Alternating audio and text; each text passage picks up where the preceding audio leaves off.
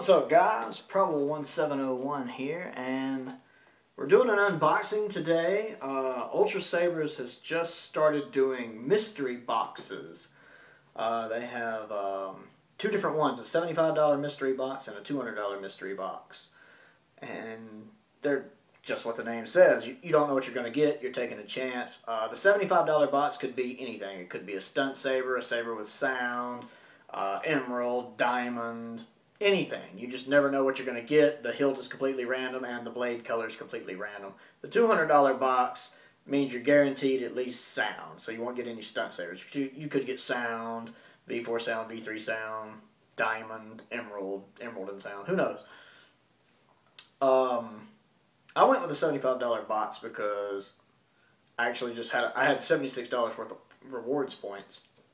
So I really just had to pay the shipping because I just been hanging on to my rewards points forever and a day. Another great thing about Ultra Sabers is for every time you every time you spend money with them, you do acquire rewards points and they add up. So I was able to get my $75 mystery box pretty much for free, just uh, the cost of shipping basically.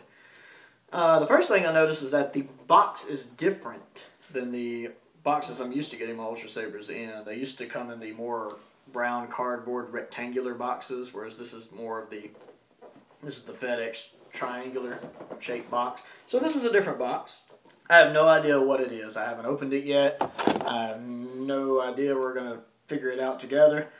Um, I don't know what, what, the hilt is. I don't know what the blade color is. It's uh, I've seen where a couple people have already gotten a couple of theirs in. One guy got a, a $75 when He got a Graflex with sound. Another guy got a Reaper.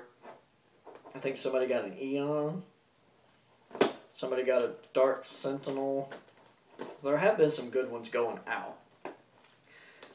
Uh, this first Ultra Sabers I've bought in a while, but I love mystery boxes, so I wanted to give it a shot. Kind of...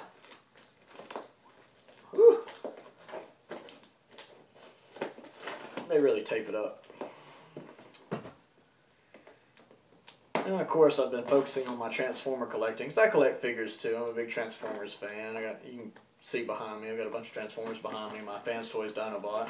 Just got in the Make Toys Point Blank, uh, which is my second Make Toys. Also have their Coppola, which is their Chrome Dome. Okay, we've got it open. There's a lot of peanuts. I hate peanuts, but they are good for packing. So garbage can.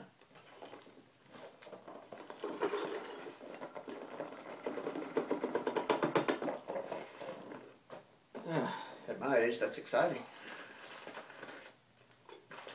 And we got the little hex screw and the thing here. Uh, let's, let's look. Let's look. I don't know what that is. It's wrapped up. This looks like my blade. I have a 32 inch blade. They do let you pick your blade length. I got a 32 inch mid grade. Lets you pick the blade type too. I went with the mid grade. I tend to prefer mid grades for most things. And the hilt is still covered up, so you don't know what it is. Interesting. Oh, Lord, I'd swear my aunt wrapped for use of wrap presents with took days to get into. Guess I can set that down now. Ah. No idea what it's going to be. Hoping it's something I like. Maybe something I don't have yet. That'd be interesting.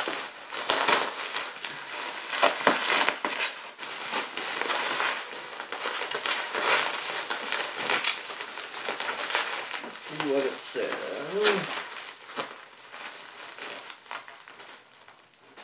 I can't tell. It's got some writing on it. V4 AV. It's got some writing on there. I'm looking at it real quick.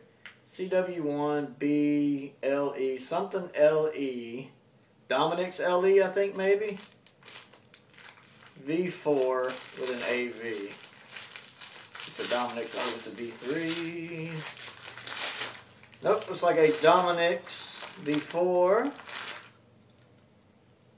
No sound, just an AV switch in what looks like Guardian Blue.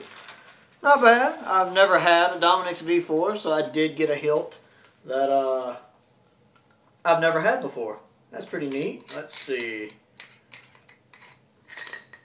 Standard battery setup. That's a nice little saber. I like it. It's actually pretty comfortable. Just um, initially feeling it. I've never had a Dominix V4 or any of the V4s like this, the Eon, the Dominix.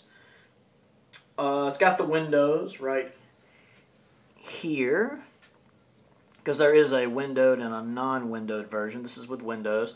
Does have a black AV switch. That's very nice. I love AV switches. Uh, with the standard AAA battery setup. Hmm.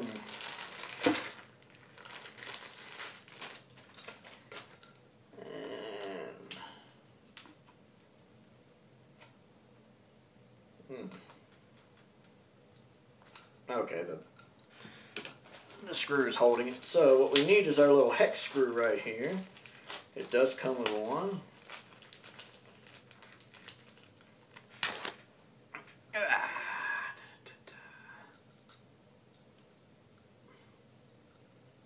So we just back that bad boy up a little bit. Let's see, it's a single LED, so it's not the Tri-Guardian blue, it is the standard Guardian blue.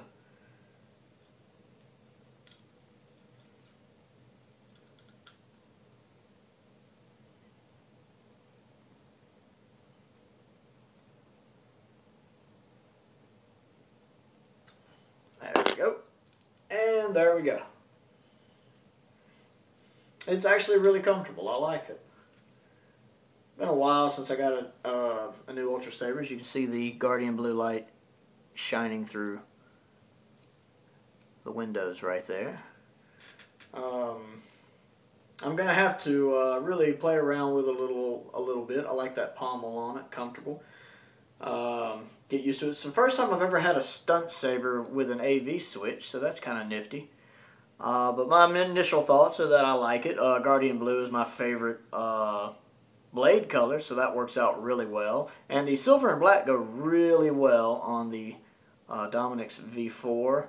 And it's more comfortable than I would have thought. The reason I've never gotten one is it just didn't look comfortable to me. It's actually pretty comfortable to hold. So I'll probably take a few days, uh, get used to it, play around with it a little bit, and then uh, try to get an actual review up. So this is Prowl 1701. This has been my first Mystery Saber uh, Mystery Box unboxing.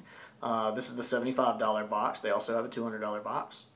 If you're interested, check them out at ultrasabers.com. This is the Dominix V4, and thank you for watching.